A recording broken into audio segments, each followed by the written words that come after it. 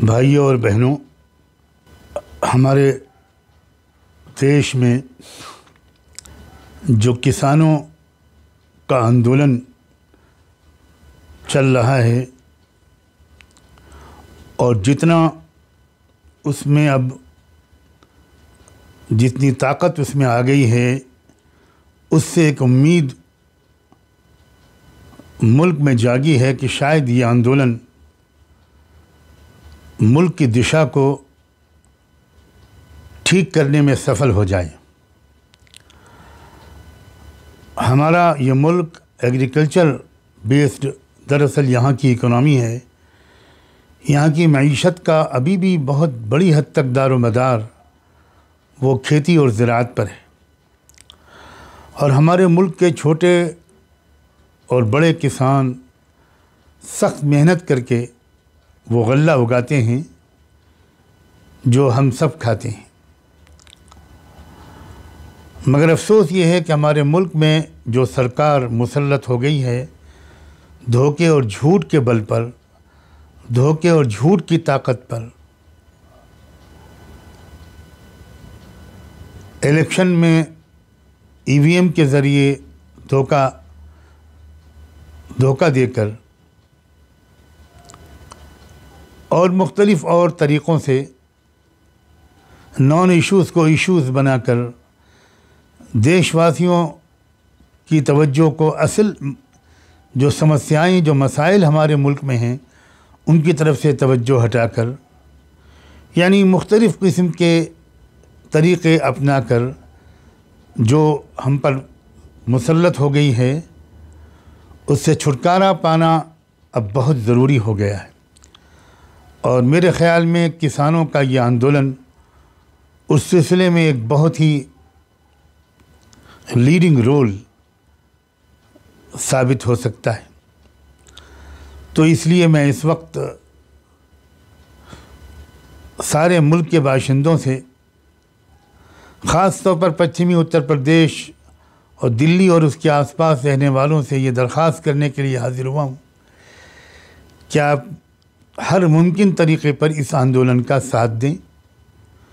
इसका ख्याल रखें कि आंदोलन ये पीसफुल रहे। शांति के साथ ये प्रोटेस्ट जारी रहे। कदम उखड़ने न पाएँ और तब तक ये एहतजाज जारी रहे, तब तक इसकी सारी मांगें पूरी न कर दी जाएँ और वो तीनों कानून जो दरअसल काले कानून हैं, उनको रिपील करने का ऐलान सरकार न कर दे। मैं सलाम भेजता हूँ कि सख्त सर्दी के मौसम में लोग बहुत कठिनाइयाँ झेल कर और पुलिस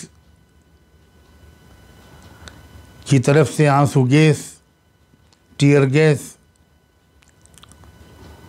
और पानी की मोटी मोटी धारें और न जाने और किस किस किस्म के जुल्म सहकर भी लोग डटे और जमे हुए हैं।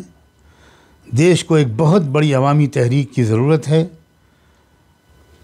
मेरी दुआ है कि अब इस तहरीक का जो आगाज़ हुआ है, ये उस वक्त तक तहरीक जारी रहे जब तक कि तमाम मज़लूमों को इंसाफ मिल लाना शुरू हो जाए। जो लोग इसमें शरीक हैं, काबिल मुबारकबाद हैं और जो इन शरीक होने वालों का ताउन कर रहे हैं, उनको रहने का ठिकाना दे रहे हैं, आराम करने की जगह दे रहे हैं, उनके लिए खाने, चाय, नाश्ते वगैरह का इंतज़ाम कर रहे हैं। ये सब लोग दरअसल मुल्क के खैर खा हैं, ये महब वतन हैं और ये राष्ट्र प्रेम का और मानव प्रेम का, इंसानियत की मोहब्बत का सबूत दे रहे हैं। खुदा आप सब की मेहनतों कुर्बानियों और ताउन और मदद को कबूल फरमाए और कामयाबी से हमकनार करे। इसी मौके पर मैं अपने सिख भाइयों को जो हमारे मुल्क में हों या दुनिया में कहीं भी हों उनको एक बार फिर अज़ीम रहनुमा बाबा गुरु नानक के पाँच सौ इक्यावनवें जन्मदिन के मौके पर आ, मैं उनको दिली मुबारकबाद देता हूँ।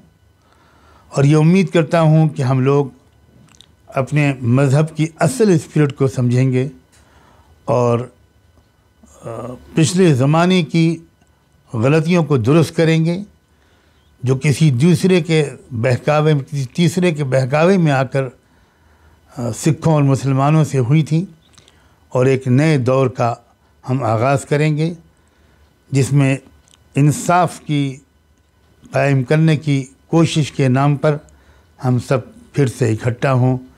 आप सबको आज के दिन की मुबारकबाद और इन दुआओं के साथ आपका ये भाई रुख्सत होता है कि हमें अपने इन मजहबी रहनुमाओं की याद से रूहानियत मिले, अखलाक और मोहब्बत और बहादुरी और हौसला मंदी का पैगाम मिले। आप सबका बहुत बहुत शुक्रिया।